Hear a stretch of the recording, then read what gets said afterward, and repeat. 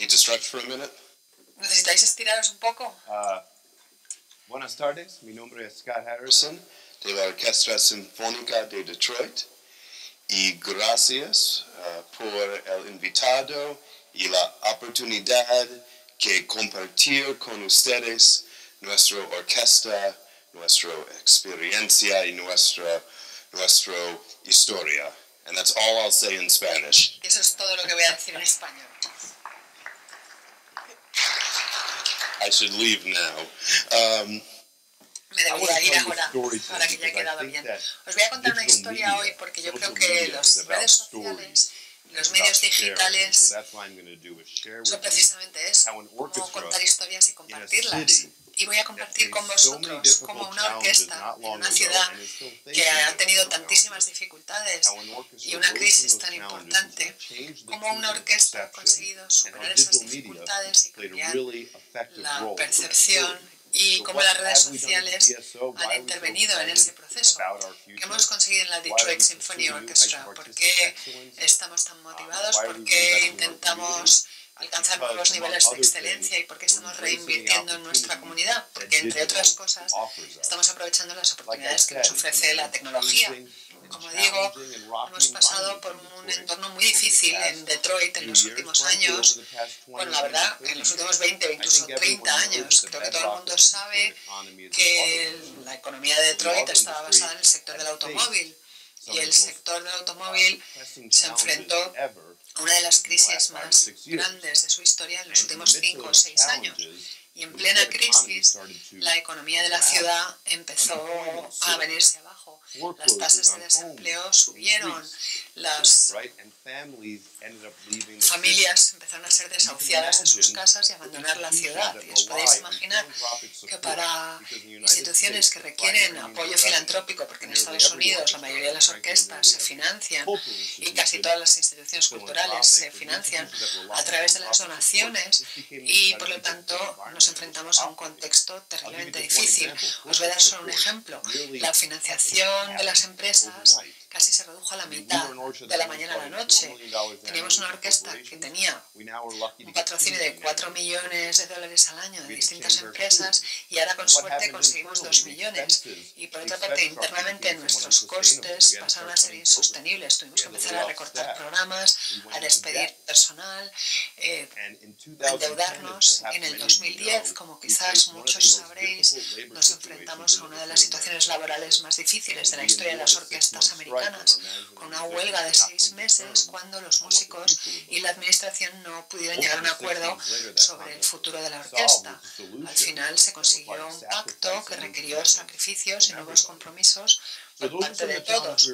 Así que estos son algunos de los desafíos a los que nos enfrentamos en Detroit y en otras partes de Estados Unidos que probablemente se parezcan a cosas a las que os enfrentáis en España y en Europa, porque aunque nuestra estructura de financiación sea distinta, lo cierto es que ya no podemos seguir con las estructuras tradicionales y si cerramos los ojos e ignoramos lo que está pasando, acabaremos hundiéndonos. Pero si estamos dispuestos a enfrentarnos y adaptarnos a esa nueva realidad y a replantearnos quiénes somos y a quién servimos y cómo les servimos, todos tenemos la oportunidad de tener éxito en el futuro. Así que, en cierto modo, esta es una historia de éxito y de optimismo y que estoy deseando compartir con vosotros. Y me he emocionado tanto contando la historia que se me olvida pasar las diapositivas. Entonces, lo que dijimos en Detroit hace cuatro años, cuando terminó esa huelga, cuando volvieron a programarse conciertos, nos planteamos una pregunta muy difícil, porque cuando nadie más creía en nosotros, nosotros sí pensábamos que teníamos un gran futuro. Y una de las bases para este futuro era esta idea de si podíamos convertirnos en la orquesta más accesible del planeta, que es una afirmación bastante audaz, pero que también es sencilla por su claridad y su enfoque. Nosotros creímos que si conseguíamos responder a esa llamada, podíamos cambiar la imagen de nuestra orquesta y dar la vuelta a las dificultades económicas. Y pensamos que podíamos empezar a cambiar la cultura. Como nos dijo Doug antes, lo primero es la cultura y luego la estrategia. Y en realidad esto era un cambio cultural, crear una orquesta y un entorno que se centrara en el acceso y en las oportunidades. Y eso es lo que llamamos el ecosistema digital del Detroit Symphony Orchestra. Es un ecosistema que conecta con la comunidad local, pero que también construye una comunidad global es un ecosistema que pretende promocionar la orquesta de una forma completamente diferente a la tradicional. Me gusta compartir un par de datos que creo que ilustran por qué hemos tenido tanto éxito con esta estrategia y por qué hemos dedicado tanto tiempo y tanto esfuerzo al espacio digital. Hace cuatro años, tres, cuatro años, ya un 76% de nuestro público veía algún tipo de vídeo por internet. Antes de tener nosotros nuestra página web, ya la gente se conectaba a YouTube y otras plataformas para vernos en vídeo.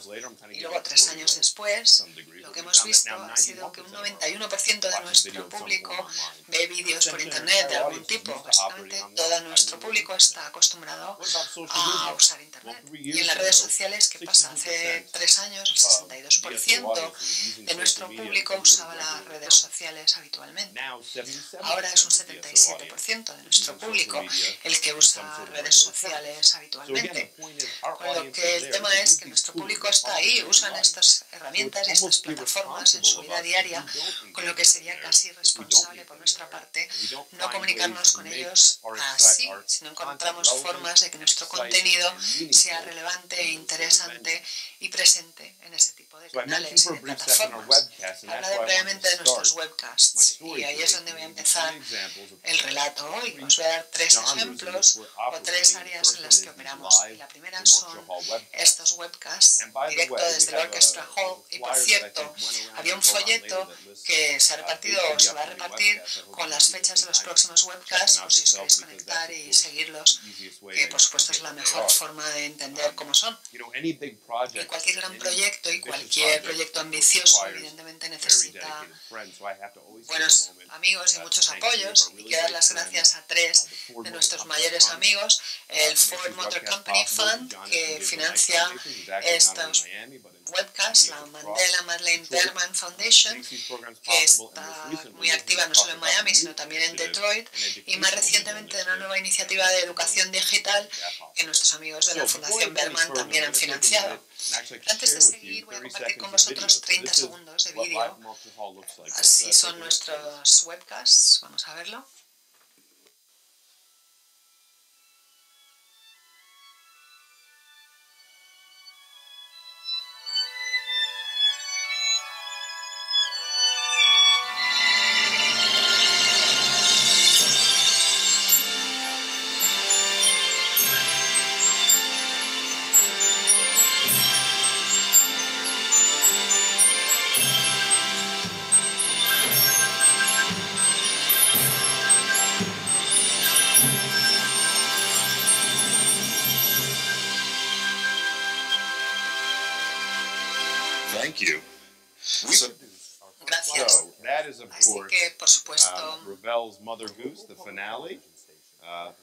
Y teníamos Ravel desde nuestro escenario de la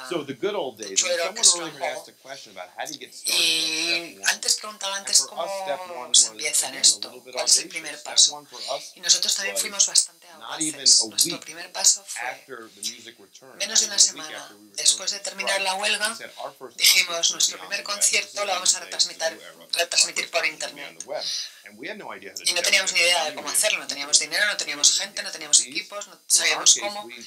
Así que lo que hicimos fue buscar amigos y socios, llamamos a nuestra emisora de televisión pública local para ver si nos podían ayudar a hacer el webcast y nos dijeron que sí, que querían apoyar la orquesta y su vuelta.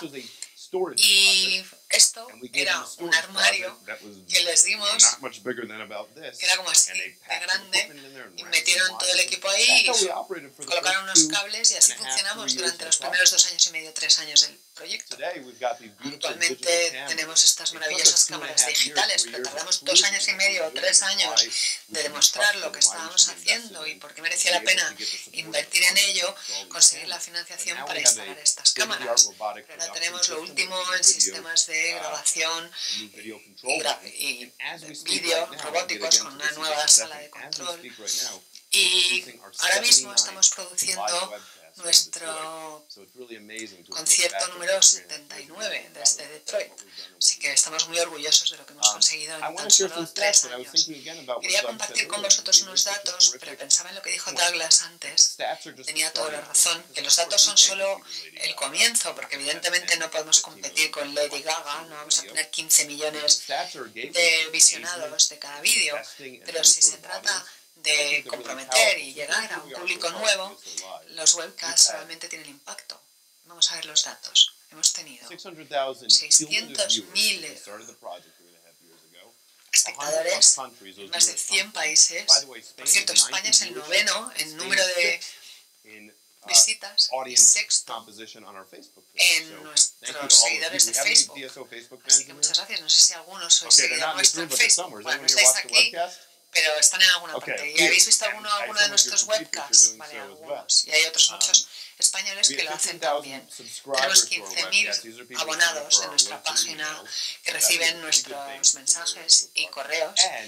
Y hemos atraído dos donaciones financieras de más de 10 millones para garantizar la supervivencia del proyecto a largo plazo. Y, como he dicho, Hemos construido una imagen de marca muy clara para nuestros webcasts. Esa imagen a la que me he referido antes, que era como una duda, pero que ahora es algo de lo que estamos orgullosos, y es la orquesta más accesible del planeta. La orquesta más accesible del planeta. Y es algo que sabemos que era muy audaz y que podía ser una locura y que era un desafío, pero si cumplimos esta misión y esa idea ayuda a guiarnos en nuestras decisiones diarias para saber cómo aprovechar las distintas oportunidades. Pero ¿Cómo vivimos la marca? ¿Cómo se traslada esto al producto que veis en la pantalla? Bueno, la retransmisión en directo siempre es gratis. Ahora estamos empezando a investigar qué oportunidades secundarias puede haber en cuanto a archivos y monetización o rentabilidad de las retransmisiones. Por el momento, las retransmisiones en directo son gratuitas, ni siquiera te tienes que registrar. Simplemente accedes a la página y ahí está y lo ves.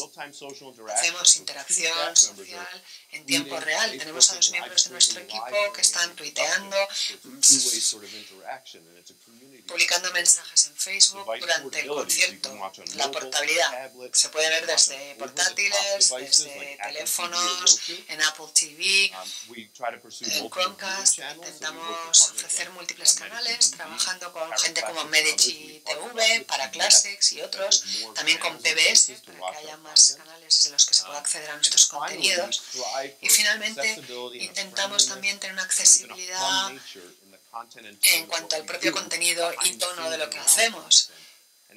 Y esto quizás sea la parte más transgresora de todas, porque la idea de que lo puedas pasar bien o estar relajado o ser casual o incluso un poco atrevido en un contexto de música clásica a veces es un obstáculo para la gente, pero hemos visto que puedes tener un concierto de una calidad extraordinaria, pero con una ventana de accesibilidad y de flexibilidad muy grande. Y lo que hemos descubierto es que los webcasts se han convertido en la tarjeta de visita de la orquesta.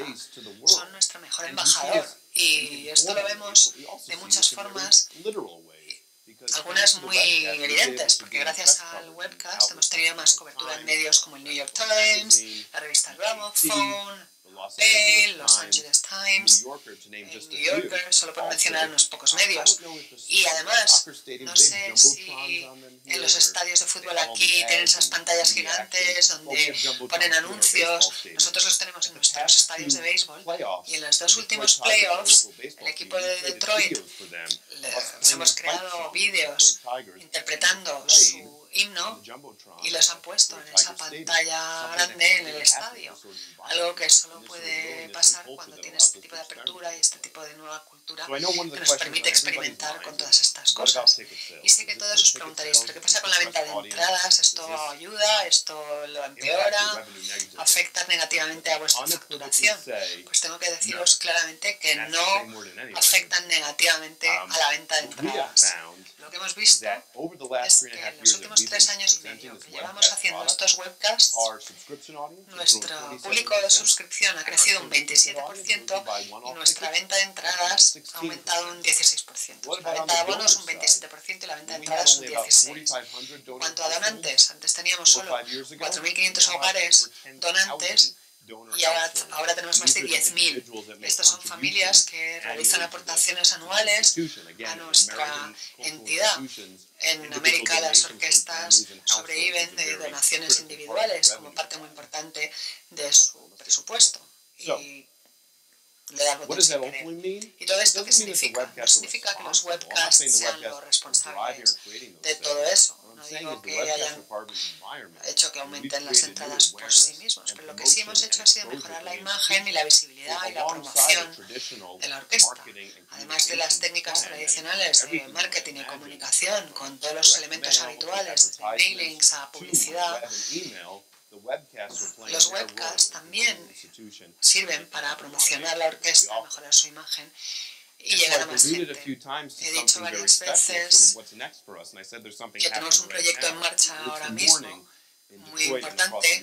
Ahora es por la mañana en Detroit y lo que estamos haciendo es hacer un webcast de nuestros primeros conciertos educativos. Lo llamamos Live from Orchestra Hall, Classroom Edition o edición aula o Let's Play. son conciertos dirigidos a niños, 45 minutos, conciertos que ya solemos, programas que ya solemos llevar a cabo, pero hemos traído un productor con experiencia en talleres de Samo y les hemos rediseñado un poco junto con material educativo, audiovisual, que se adapta a los contenidos de la asignatura de música a nivel nacional están diseñados para resultar atractivos para los alumnos. En el futuro queremos tener más tecnología interactiva y estamos teniendo primero un impacto en Detroit y luego posteriormente lo queremos ampliar al resto del país y convertirnos posiblemente en la orquesta educativa de América. Y esto está pasando ahora mismo. Mis compañeros en Detroit están produciendo esta emisión. Se han apuntado 300 colegios de Detroit a estos webcasts. Y podrías decir, ¿no podríamos traer a estos escolares a la sala de conciertos? Sí, pero no nos caben todos. Y en Detroit, como en muchas ciudades, incluso tener financiación para llevarles en autobuses al concierto es difícil para los colegios, porque también sus presupuestos están bajo presión. Hay otros 125 colegios de otras partes de Estados Unidos que se han apuntado y la previsión es que hoy 40.000 alumnos tendrán acceso a la música clásica y estos webcasts y tendrán una experiencia cultural muy rica gracias a la orquesta y a nuestra emisión para clases. Y luego tenemos otro proyecto, como digo, que es convertirnos potencialmente en el proveedor de conciertos educativos de Estados Unidos. Y para eso sirven los webcasts. Ahora quiero hablar de las redes sociales. Y espero que a lo largo de mi presentación se os irán ocurriendo oportunidades para vuestras propias instituciones, cosas que puedan servir para vuestras instituciones, porque combinar distintas cosas es muy importante. Yo siempre digo que, aunque aquí estoy hablando de cosas que han funcionado, como decía Douglas antes, también hemos tenido nuestros fallos, hemos probado cosas que no han funcionado. Y en algún momento debería dar una conferencia sobre eso, porque aprendes tanto de tus errores o incluso más de tus errores que de tus éxitos. Pero yo creo que el estar dispuesto a probar cosas y a experimentar es muy importante. Y aquí tenemos lo primero en cuanto a redes sociales, que se llama social story for. It's called DSO Selfie. DSO Selfie. Y no sé si aquí en España lo de los selfies se lleva tanto como en Estados Unidos. Todo el mundo se hace esos selfies y pensamos, bueno, ¿y eso por qué no lo podemos usar para la orquesta? Y una de las cosas especiales de nuestra orquesta es que dejamos que la gente haga fotos en nuestra sala de conciertos, no durante el concierto, pero sí antes y despacio y después y en el descanso. Y tuvimos una idea muy sencilla. Hazte una foto, cuélgala en internet con el hashtag DSO selfie y puedes ganar entradas. Entonces son fotos como estas. Aquí tenemos dos jóvenes, sonrientes, encantados de estar en este concierto y comparten la experiencia con todos sus amigos en las redes sociales y esto genera una imagen y una validez para la orquesta que nosotros mismos nunca conseguíamos. El decirle a sus amigos, fijaros, estamos aquí, qué chulo, qué bien lo estamos pasando, tiene mucho más impacto que, que nosotros la orquesta digamos, veniros a los conciertos que os lo vais a pasar muy bien. Ese es el impacto que tienen actividades como estas. Y lo bueno es que aunque el concurso ya ha terminado, el público sigue con el proyecto y se siguen haciendo selfies y colgándolos. Y cada vez más estamos buscando formas distintas de que sea el público el que contribuya y el que aporte su perspectiva para otros proyectos. Aquí tenemos un ejemplo de uno de nuestros músicos que también se han metido en este proyecto de los selfies. Y ahí tenemos a Joana Ayarbo, una de nuestras músicos, en un ensayo haciendo una foto de toda su sección, la cuelga en Facebook y consigue 250 me gustas. No sé vosotros, pero yo si consigo 25 con las fotos que cuelgo yo, ya estoy feliz. Y luego de eso pensó, Joana, ¿nos dejas colgar esto en nuestra página oficial? Y lo hicimos y tuvimos miles de me gustas. Fue una de las fotos más populares del año porque es como lo que decía antes Luke sobre Filarmonia. A la gente le interesan las personas de la orquesta. Y luego esta idea de darle al público el control y de compartir estas cosas de una forma mucho más directa. Decidimos llevarlo al siguiente nivel, empezamos cada temporada con una semana de conciertos comunitarios, vamos a cuatro o cinco barrios de Detroit y damos conciertos gratuitos para que la gente pueda acceder a la orquesta. Y durante los últimos años este proyecto lo hemos hecho en colaboración con la DTE Energy Foundation, que es uno de nuestros patrocinadores más generosos. Y hablábamos con ellos sobre el siguiente paso en esta relación, cómo implica a la gente y usar estas herramientas que nos aporta la tecnología. Y se nos ocurrieron tres formas de implicar a nuestro público en estos conciertos comunitarios de otra manera. Entonces, los objetivos eran tres. Como he dicho, queríamos aportar valor a nuestro patrocinador de formas innovadoras. Queríamos combinar la accesibilidad en la comunidad con la accesibilidad en Internet y crear experiencias memorables antes, durante y después del concierto. Entonces, lo primero que hicimos fue decir, podéis nominar a vuestra comunidad para participar en este proyecto. No vamos a ser nosotros lo que elijamos los barrios, vais a ser vosotros los que decidáis en qué barrio vamos a ir. Hicimos un proceso por internet, la gente presentaba sus candidatos y luego hubo votaciones, casi 14.000 personas de la zona metropolitana de Detroit votaran sus barrios favoritos donde debieran producirse nuestros conciertos. Y lo segundo que hicimos, que fue genial, tener un concurso de dirección. En cada uno de los conciertos acabamos con alguien del barrio y de nuestra con alguien del barrio dirigiendo a la orquesta en el himno Barras y Estrellas que sabéis que es muy popular en Estados Unidos y dijimos bueno no vamos a elegir nosotros a estos niños que se presenten ellos por Instagram. Tenían que presentar cada uno un vídeo y luego cada comunidad se elegía al ganador. Y os voy a enseñar esto que es buenísimo. Este es uno de los que participaron en el concurso de, para dirigir la orquesta.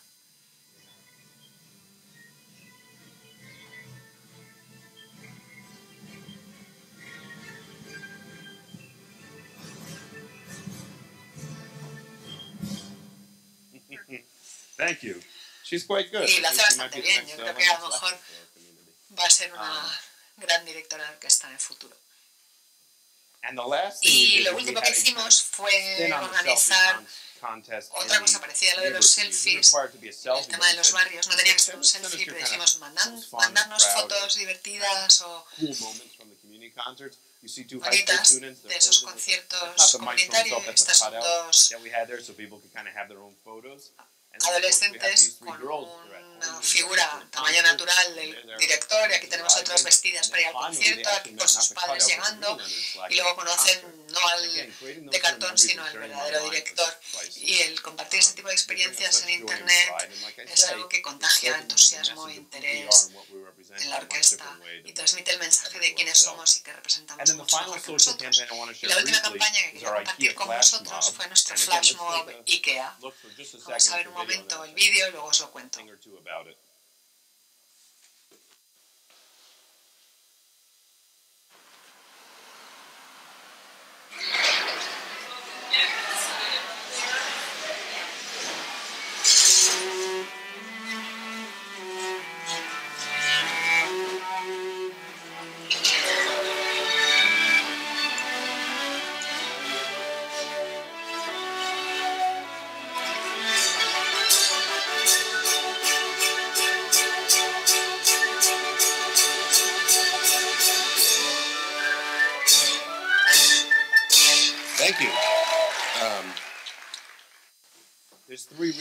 Hay tres motivos por los que me encanta eso.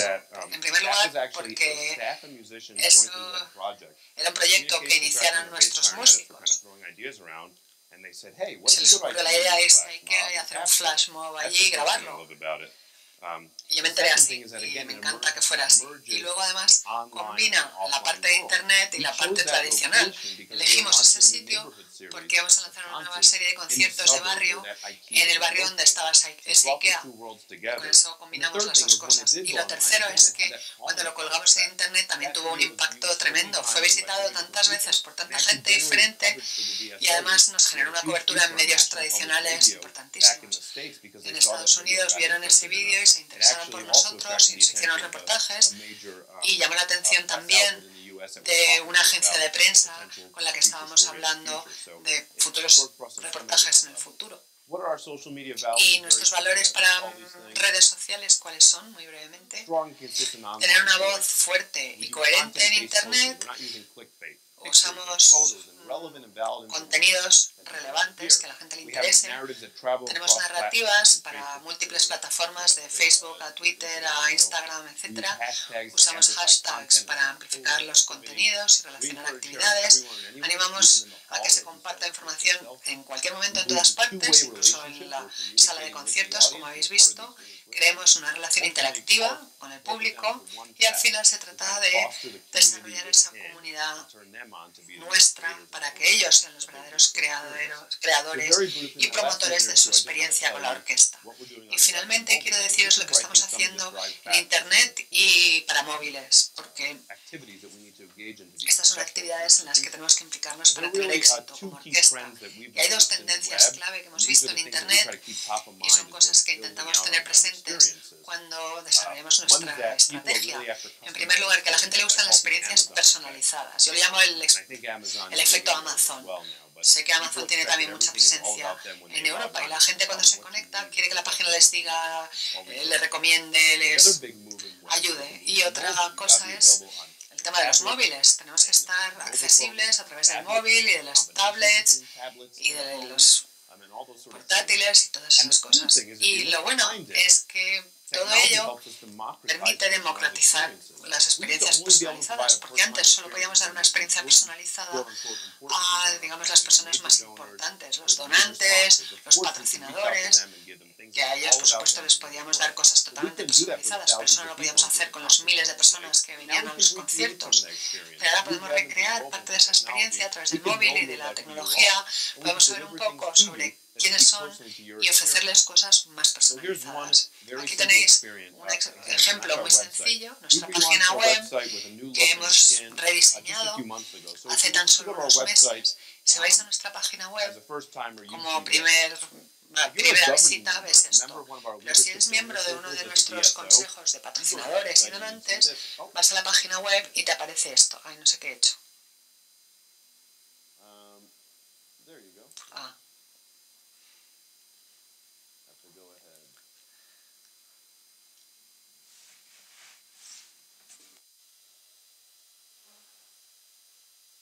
remember this? Wasn't that fun?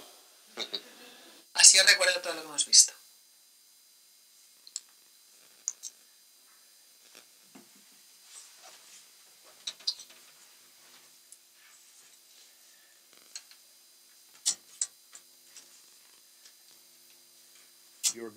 Bueno, pues eso, si eres donante, cuando accedes a nuestra página web te aparece esto.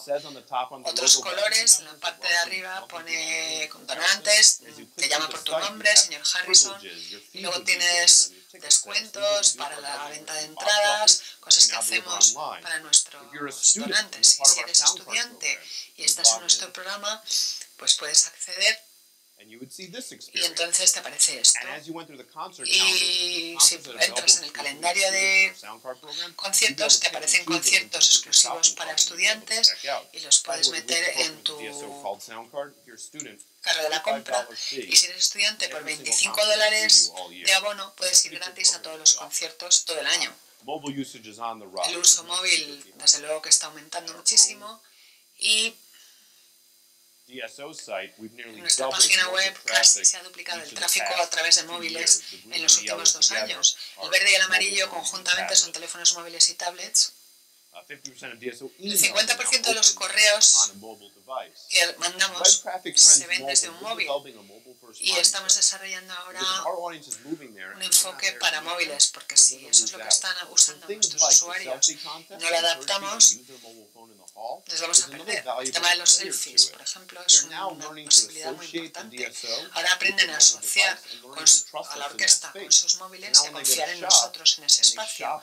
Y cuando van a comprar, que compran con el móvil, van a saber que estamos ahí también y van a acceder.